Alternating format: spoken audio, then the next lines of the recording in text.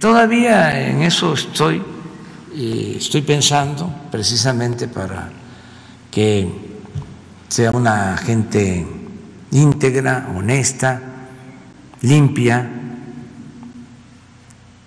que este, nos garantice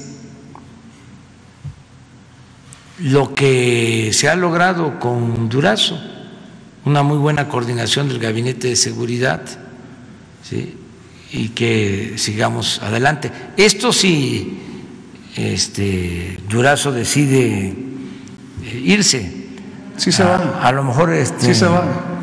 eh, lo convenzo de que me siga ayudando.